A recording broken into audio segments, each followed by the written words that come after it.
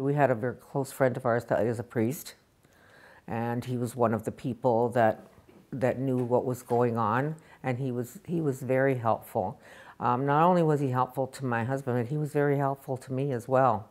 Like he was very cognizant of the fact that, yeah, I am going. You know, she's going through. He's going. He's sick, but she's going through a really hard time. So we did. You know, we sat and we talked a lot, and he, you know, he really helped me. Um, our faith, yeah, my husband's faith was always very strong. So is so is mine.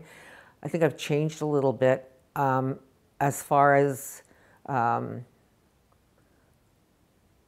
religion goes and the you know the act of going to church and you know blah blah blah. I I'm I'm a good person, and I'm, I think I'm a very spiritual person, and it doesn't necessarily have to be, you know, by going to church all the time.